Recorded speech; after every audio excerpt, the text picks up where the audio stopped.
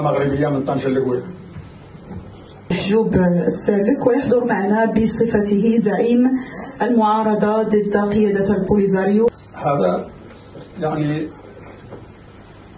أسلوب ما, ما, ما ليس للدفاع. هذا أسلوب دعائي وخصوصا هذاك اللي يقول لك على أن الصحراء مغربية من طنجه للقويره ما يعرفش بلا القويرة إلا بغيت تدخل خاطر يكون عندك باسبور تشد فيزا من وقتها باش تدخل القويرة. إذا باش نعود غادي ندافع عن القضية. نعلم بها نحن تدافع عن القضية. خاصك اولا تعرف مع من تتعامل. شكون هي البوليسارية اولا؟ إحنا مشكلتنا مع البوليسارية. ومشكلتنا مع الجزائر. اذا شكون هي البوليسارية اولا؟ كيف تأسست ولماذا تأسست؟ وما هي مقوماتها التنظيمية؟ والجزائر ماذا تريد بهذا الموضوع؟ متى دخلت هذا الموضوع؟ وما الهدف لها من وراء هذا الموضوع؟ هذه المعطيات أساسية وضرورية لأي واحد بغى يدافع عن القضية الوطنية.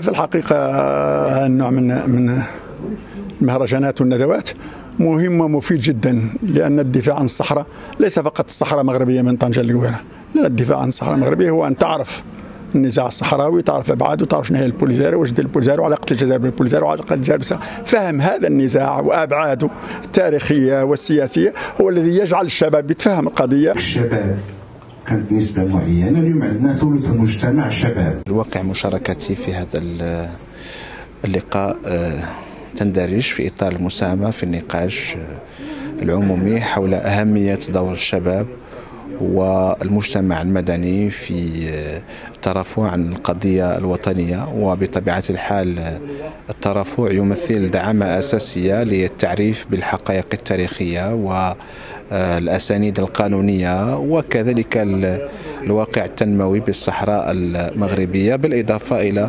تطور الملف على المستوى الأممي. وبالتالي يمكن القول بأن المشاركة في هذا اللقاء هي من أجل طبعا اللقاء بالشباب والفاعلين المدنيين وكذلك إطلاعهم على آخر المستجدات من أجل أن ينخرط كل طرف في عملية الترافع لأن هذا واجب جماعي.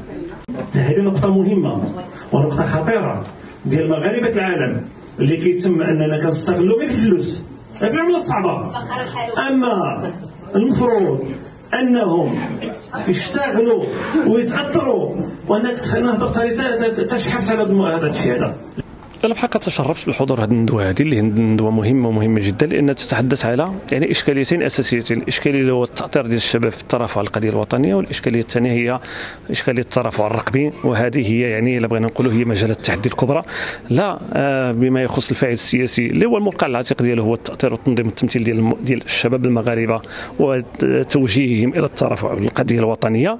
كنعرفوا الدور ديال الشباب في هذا الباب هذا ولا من ناحية ديال الترافع الرقمي على اعتبار أننا لا نمتلك استراتيجية إعلامية للترافع الرقمي حول القضية الوطنية وبالتالي المساهمة والمواكبة ومساعدة السلطات ديال البلاد في الترافع على هذه القضية. هذه اللي هي قضية جميع المغاربة ولا تهم الحكومة أو مؤسسات بعينها. الحدث الإفريقي معكم من قلب الحدث.